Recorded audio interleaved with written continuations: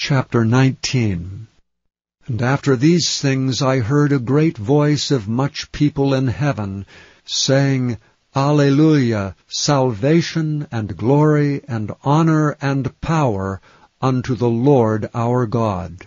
For true and righteous are his judgments. For he hath judged the great whore which did corrupt the earth with her fornication, and hath avenged the blood of his servants at her hand. And again they said, Alleluia.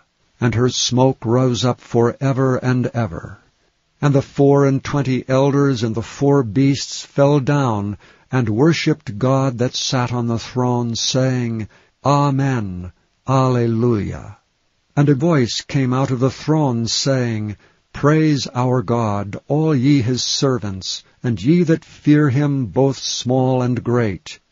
And I heard as it were the voice of a great multitude, and as the voice of many waters, and as the voice of mighty thunderings, saying, Alleluia, for the Lord God omnipotent reigneth.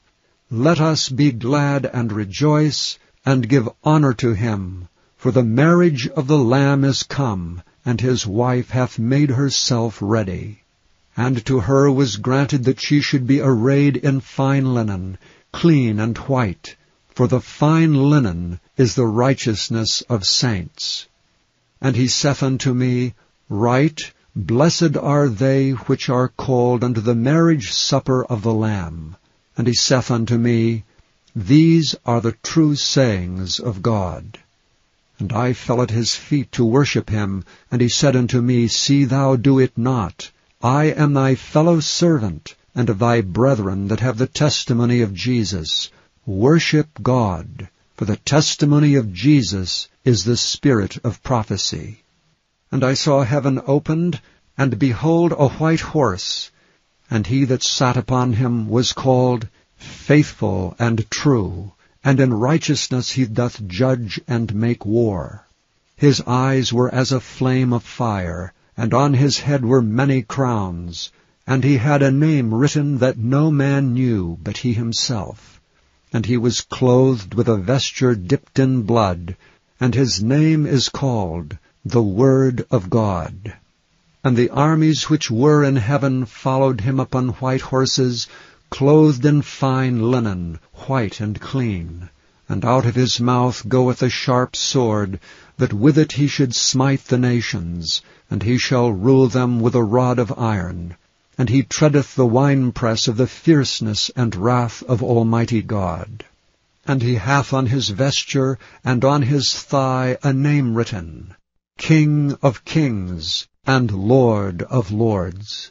And I saw an angel standing in the sun, and he cried with a loud voice, saying to all the fowls that fly in the midst of heaven, Come and gather yourselves together unto the supper of the great God, that ye may eat the flesh of kings, and the flesh of captains, and the flesh of mighty men, and the flesh of horses, and of them that sit on them, and the flesh of all men, both free and bond, both small and great. And I saw the beast and the kings of the earth, and their armies gathered together to make war against him that sat on the horse, and against his army. And the beast was taken, and with him the false prophet that wrought miracles before him, with which he deceived them that had received the mark of the beast, and them that worshipped his image. These both were cast alive into a lake of fire burning with brimstone. And the remnant were slain with the sword of him that sat upon the horse, which sword proceeded out of his mouth, and all the fowls were filled with their flesh.